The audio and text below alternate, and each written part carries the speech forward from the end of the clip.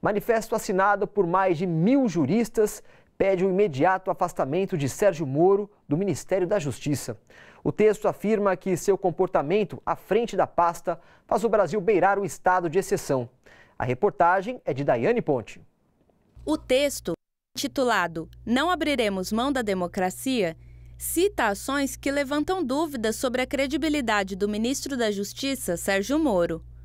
O presidente do Sindicato dos Advogados de São Paulo, Fábio Gaspar, diz que a iniciativa surgiu após a prisão dos supostos hackers no interior de São Paulo. Ele divulgou que iria destruir as provas e, e ele não tem autoridade para destruição de provas, porque nesse caso ele estaria agindo como um juiz, apenas um juiz poderia determinar a destruição de provas. Né? O que está parecendo para nós que ele está agindo como um delegado de polícia, um promotor de, de justiça, escolhendo provas, quando, na verdade, ele é o ministro da Justiça. Para Roberto Tardelli, que já foi procurador do Ministério Público de São Paulo, Moro praticou ilegalidades quando se desviou das responsabilidades atribuídas a um juiz.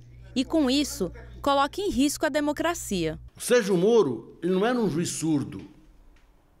Ele era um juiz com um lado definido. Ele era um juiz que, desde o começo, desde o início, deixou de ser juiz, cuspiu sobre a magistratura e se tornou, ele próprio, um perseguidor. Mesmo com a popularidade em queda, Moro ainda conta com certo apoio diante de parte da população, que o vê como um personagem justiceiro que agiria em prol de um bem maior. De acordo com o jurista Lênio Streck, esse raciocínio acentua o estado de exceção ao qual o Brasil está prestes a se submeter. O que, é o estado de exceção? É um conceito muito simples.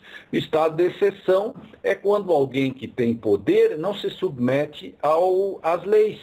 Parece-nos que efetivamente é, estamos beirando ao, ao, a um estado de exceção, porque o ministro da Justiça ele é o soberano e o soberano é o que decide no estado de exceção e o soberano é aquele que não se submete às próprias leis. Né?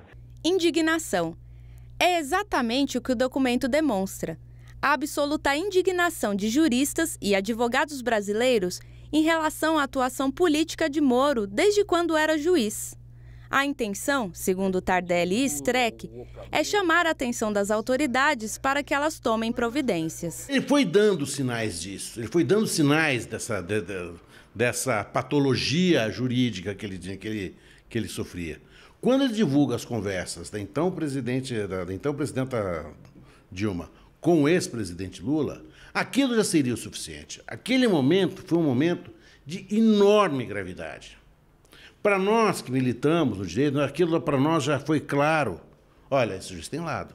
Este é um problema que por si só já serviria para se pleitear, como estamos fazendo, esse grupo, grupo prerrogativa e mais tantos advogados já, mil pessoas, estamos é, pleiteando, né, é, propondo que ele não mais possa continuar como ministro da Justiça.